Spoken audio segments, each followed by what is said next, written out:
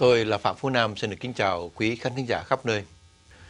Thưa cha, kỳ trước cha nói ờ, về đề tài dân riêng của Chúa, tức là nói về dân Do Thái. Ờ, cha cũng phân tích ờ, về cựu ước và tân ước, cũng như cả một cái giai đoạn mà dân Do Thái bị lưu đày. Thì bây giờ thưa cha, ừ, lúc mà Chúa Giêsu ở Do Thái bây giờ thì người Việt Nam mình hay rất là nhiều người đang đi hành hương, nó gọi là về đất thánh. Mà con không biết là ờ, đối với giáo hội công giáo ở bên đang ở là giáo hoàng bây giờ đó cha có có gọi là có công nhận điều đó không? Rồi có làm cái gì đặc biệt cho cái đất thánh không cha? Dạ. À, trước hết là thường thường là ta gọi đất thánh là cái nơi cái vị gọi là gọi là là là lập ra đạo đó Dạ. sống Dạ. thế như ở bên à, Phật giáo thì ở bên phía Bắc Ấn Độ đó Dạ. ừ, cái những nơi hành hương là thời Đức Phật sống Dạ. rồi Hồi giáo thì có vùng Mecca vùng ờ, đại Cũng khái cả cũng cả Do Thái. không thế cái là nói chuyện là là là là cái chính của họ Vâng. và ở Jerusalem đó thì họ cũng cho là một phần là đất thánh tại vì họ cho là ông tiên tri về về đi về trời từ Jerusalem Vâng. Vâng. còn về về đạo Chúa thì Chúa Giêsu sống có thể nói rằng là cả đời uh, 33 năm ở cái vùng đất đó Dạ. thì cái tiếng cũ gọi là đất Canaan Dạ. À, thì về sau thì nó chia ra nhiều vùng là Galilee rồi Samaria rồi Judea nhưng mà đại khái là cái vùng à, đất mà hồi xưa là các tổ phụ đã sống đầu tiên ấy, Vâng. trước khi đi ờ, gọi là đi sang Ai Cập và phải lưu đày ờ, nô lệ bốn bốn trăm năm đó. Dạ. Vâng, thế thì thế này nhé. Là khi mà trở về đó từ ờ, từ Ai Cập trở về đó Dạ. thì là các cái cái cái cái người con ờ, của ông Jacob, Jacob là cháu nội của ông Abraham là cái người được Chúa gọi đầu tiên đó, Dạ. sinh ra được 12 người con trai. Thì chia ra thành ờ, 12 chi tộc. Vâng. Đó. Thế thì khi mà mà sống 400 năm ở Ai Cập thì sanh sôi nảy nở họ tính ra đàn ông đàn bà trẻ con được có 3 triệu. Dạ. Cho lúc đi về đi qua biển đỏ đi về là phép lạ các thứ đó là 3 triệu là không phải chuyện nhỏ đâu. Dạ. Đấy. Dạ. Thì sau ba bốn chục năm ở bốn chục năm ở trên sa mạc ở trên hoang địa thì vào vào đất hứa đất tức là Chúa hứa cho sẽ được về lấy lại cái đất để, để sinh sống thành một quốc gia riêng đó Dạ. thì họ bắt thăm Dạ. bắt thăm chia ra các cho các chi tộc đó Dạ. thì có một cái chi tộc không có đất là chi tộc Levi Dạ. lo việc phụng thờ Chúa thôi Dạ. thì các ừ, chi tộc khác phải giúp cho những cái vị đó có của ăn để sống. Ừ. Thế còn đó ờ, cũng là phần chia ra 12 là vì con của ông Giuse đó có hai người con được kể như là thay cái chi tộc ông Levi thành ra vẫn là 12 Vâng. và cái chi tộc mạnh nhất từ đầu cho đến cuối là chi tộc ờ, Judah Vâng. mà cái chi tộc đó là chi tộc Chúa Giêsu Dạ. Vâng. tức là Chúa Giêsu làm à, là là cái người thuộc về chi tộc đó đấy Vâng. để chia ra đấy thế về sau chúng ta mới biết rằng là vì họ sống ngang tàng cho nên là sau cái thời hoàng kim là à, vua David và vua Solomon đó, thì bị chia ra Vâng. đất nước bị chia ra thành thử ra chia đôi ra Vâng. và cái cái cái 10 cái hơn 10 chi tộc phương Bắc đó là bị lưu đày ở phương, phương Bắc đế quốc tôi cứ tạm gọi là Ninive đó Dạ. Assyria đó là mất tích luôn không có thấy dấu dấu vết gì còn lại trong lịch sử cả Dạ. thế còn chi tộc Judea và một phần chi tộc Benjamin đó, bị lưu đày sang Babylon là cái nơi bây giờ là nước Iraq. Dạ. Vâng. đấy đấy ừ. thì sau coi như năm chục năm và cuối cùng là bảy chục năm thì tất cả về hết về lại Dạ. lập lại quốc quốc gia xây lại đền thờ đó tức là đại khái đất thánh là như thế Vâng. thế nhưng mà nếu mà phải nói thêm chi tiết á, là đầu đuôi nó là có thế nào nhé là khi mà Chúa gọi ông Abraham Dạ. cũng ở cái vùng Iraq Dạ. ở gốc ông Abraham ở vùng Iraq đấy mới đi vòng vòng sang để về cái đất tôi nó nói lại là cái đất gọi là đất Canaan nên. lúc đó Chúa bảo là ta sẽ ta sẽ muốn người về sinh sống ở đó Dạ. để lập một dân riêng Vâng. ở nơi đó Vâng. đấy thành thử ra cho đến khi mà tức là khoảng hai ngàn năm đó Dạ. trước công nguyên đó. Dạ.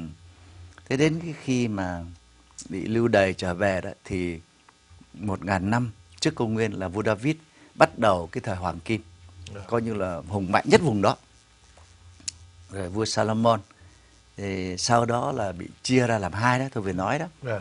thì à, đến khoảng 500 năm gần 500 năm trước công nguyên đó, thì được về người à, Babylon đã được về thì tôi nghĩ cũng giỏi lắm là cũng triệu hay là vài trăm ngàn thôi Vâng. tôi nghĩ vậy ha xong nó lại tiếp tục bị Hy Lạp nó đô hộ xong Hy Lạp lại bị Ai Cập đô hộ Vâng. xong lại bị nước Syria đô hộ Vâng. khổ không? Tức là là cái nước nhỏ đó là bị hết cái nợ này kia rồi rồi ráng tuyên bố độc lập cũng lại không xong cuối cùng là đế quốc Roma Vâng. từ năm 63 trước công nguyên đó Roma đô hộ đấy Dạ. Thế thì đến năm 70 sau công nguyên ừ, Tức là lúc là Chúa sanh ra xong rồi. xong rồi đó Dạ, vâng. tức là trước 63 năm là bị đô hộ sau Chúa Giêsu 70 năm thì là bị đi lưu đày coi như là không còn người ở đó nữa Vâng. cho đến năm 1948 mới lại trở lại đấy. Ghê, Tức là 2.000 năm. khủng khiếp chưa Vâng. đấy tức là là là cái, cái dân tộc mà được gọi là Chúa cưng Chúa hứa thế này Chúa hướng dẫn Chúa tạo những những cái cái, cái cơ hội để phát triển để để gọi, gọi là thành tựu đó ừ. thì là vì bất tuân là vì thế này thế này, này cho nên là theo cái kiểu mình nói theo của loài người là bị phạt đấy cuối cùng thì rất là khổ cuối cùng cho đến ngày hôm nay đó họ vẫn vùng vẫy sống giữa những cái Tranh chấp. cái người láng giềng là gốc Ả Rập ừ. Dạ. mà anh có biết cái người Ả Rập nó có liên hệ với Do Thái làm sao không? Cùng ở một cùng ở một nơi thôi chứ. không nó có gốc máu mủ đó chứ không phải không đâu À tức là à, à, dòng họ cũng là một chi tộc của Do Thái. không ông Abraham á Vâng. là cái người tổ phụ của dân Do Thái đó Dạ. người Ả Rập mà bây giờ hồi giáo đó cũng nhận ông đó là tổ phụ của mình Vâng. nó buồn cười lắm Vâng. thế thì theo sách thánh của người Do Thái Dạ. và người người Kitô giáo cũng nhận đó là cái người con chính thức nối dõi cha là Ab- Abraham là ông Isaac á. Vâng.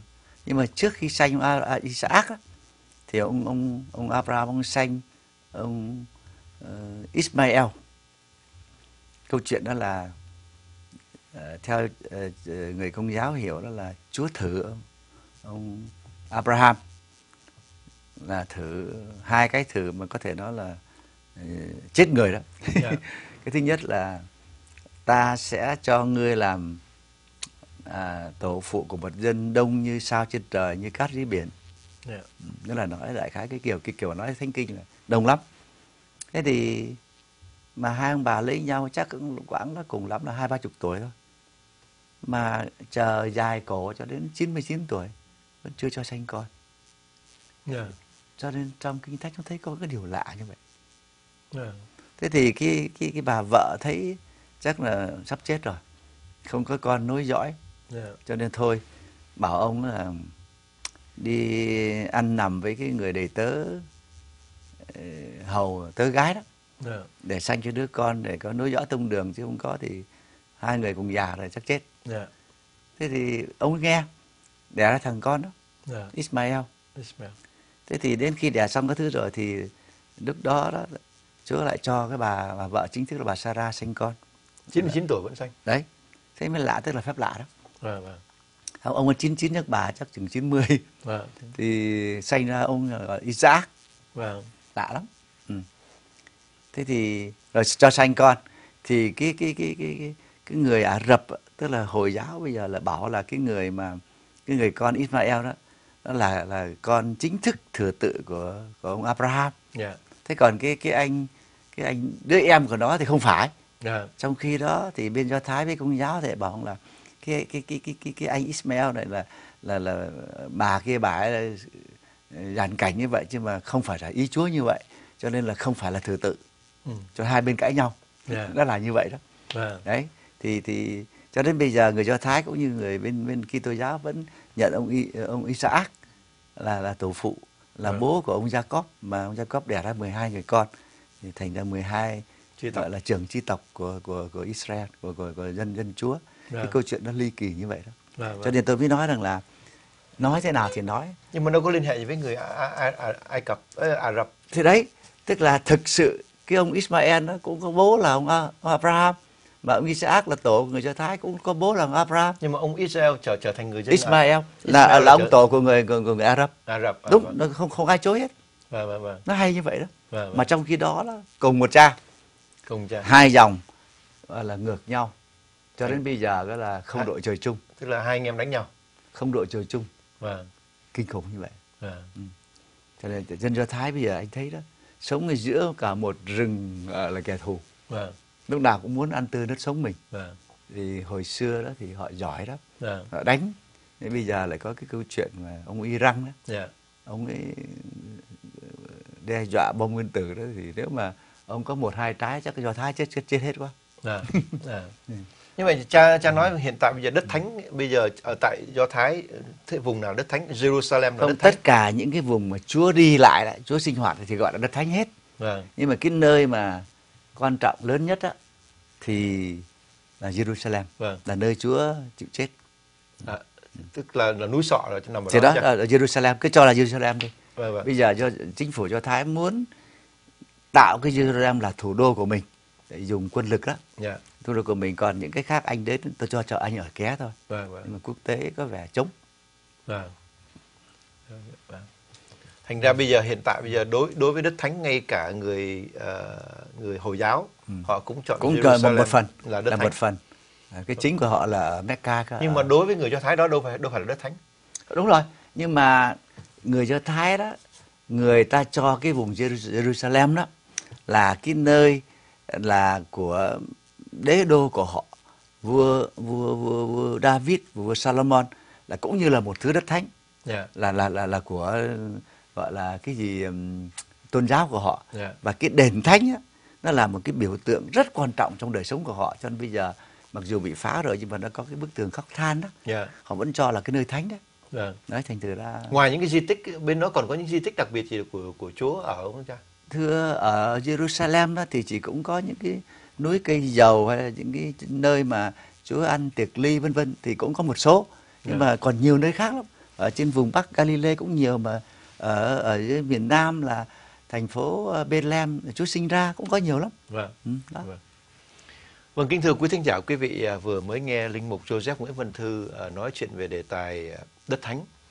Và qua câu chuyện đất thánh, quý vị đã có dịp tìm hiểu thêm, cha giải thích thêm về lịch sử của người Do Thái từ giai đoạn ông Abraham là tổ phụ của người Do Thái và đồng thời cũng là tổ phụ của người Ả Rập. Ả Rập.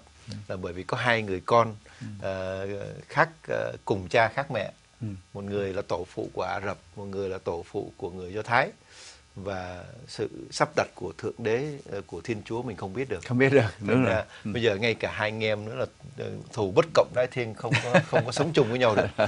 Đó là Ừ. câu chuyện lịch sử. Ờ, chúng tôi xin được cảm ơn quý thính giả đã theo dõi và xin được mời quý vị nhớ tiếp tục ờ, theo dõi chương trình ờ, với cha thư vào tuần tới. Chúng con xin được cảm ơn cha cảm ơn à, anh Nam và chào quý vị.